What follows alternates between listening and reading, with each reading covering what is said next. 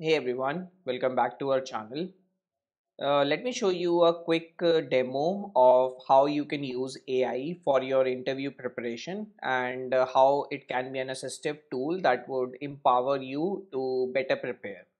So let's say we are on the DevTools Tech platform and uh, I'm implementing this question uh, count by which is basically similar to Lodash count by these Lodash type of questions are commonly asked in companies as problem solving questions in machine coding rounds. So now I'm solving this question and this is one way to solve it. Let's say I, you know, write down uh, my solution here where I use for loop and I do all the if and else and everything. Now I want to see if it is, you know, uh, correct or not. I run the test cases here on which are inbuilt in the platform and it says that all the eight test cases are passing so now this is all well and good. All the test cases are passing. But can i improve upon the solution? Maybe rather than using for loop i can i might have used some higher order functions or maybe some performance improvements here or some security is there memory leak or something like that.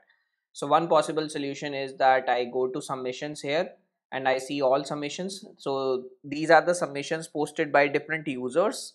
On the platform you can go click on view and you can check those out so that is valid and you can compare what is working for you and what is not working for them or vice versa and you can pick uh, ideas. Another way uh, what could be another way? You know in in an organization it is we always get you know code reviews from our senior engineers or peer peer group. So in the devtools tech platform we have this new feature that is live. So we have a new tab here called code review. If i go here it says that uh, you know code as usual receives smart feedback. So basically uh, this is an ai model uh, devtools ai which is running in the background on my own server. And when we click on this cta let me just click on it then we get this loading state. And right away we feed this code to the ai model and we ask the model to review the code and provide suggestions. Now uh, I, like here it's mentioned that it's an early beta so expect things to break but for the most part it works fine. And you know i have the streaming uh, support also so that you can get a you know right away feedback. I'm, I'm trying to run a good model with streaming support and a, uh, on the best possible hardware i can get. And uh, see we are getting the code review here. We are getting the code quality performance maintainability best practices and so on. And the some suggestion and explanation of the changes. This is in beta and this is live for all the programming questions, be it HTML, CSS, React, JavaScript. Yeah, right now it's not conversational.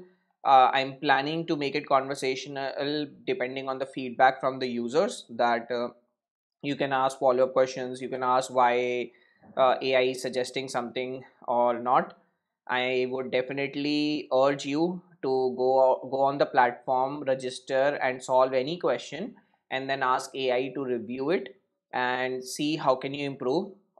And also this is free for now completely. I am running it on my own server. I am paying it out of my own pocket.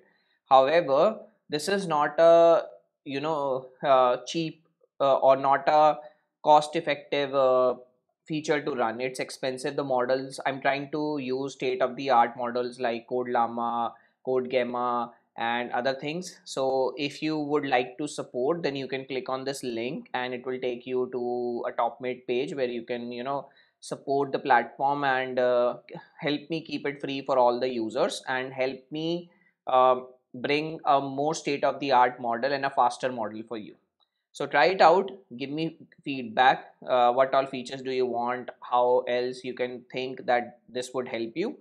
Uh, and looking forward to your feedback